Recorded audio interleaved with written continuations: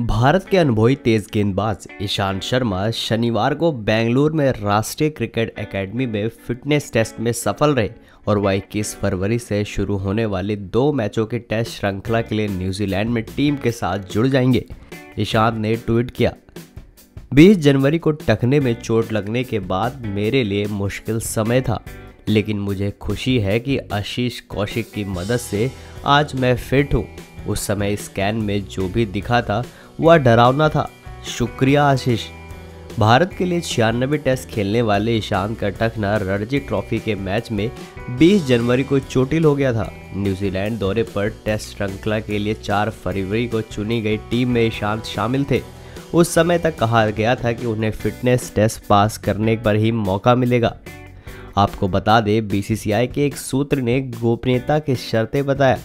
हाँ उसने Ishan fitness test pass कर लिया है वह न्यूजीलैंड में टीम से जुड़ेगा। जो पहले टेस्ट में चयन के लिए उपलब्ध है, लेकिन इस मामले में आखिरी फैसला टीम प्रबंधन को करना है।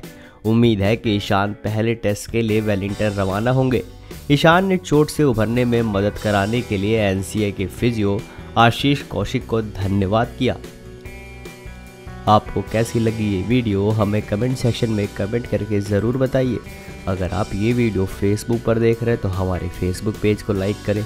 अगर आप ये वीडियो यूट्यूब क्रिकेट केसरी पर देख रहे हैं तो हमारे चैनल को सब्सक्राइब करें। अमन यादव, पंजाब केसरी, दिल्ली।